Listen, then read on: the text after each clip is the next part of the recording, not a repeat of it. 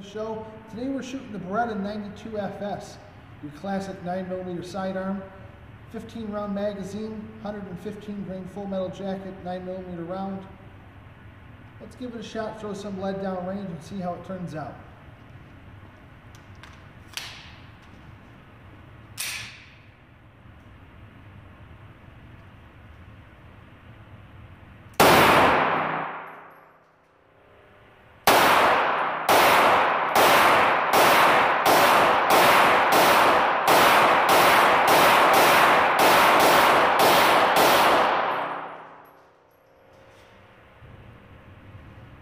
I'd say that does the trick.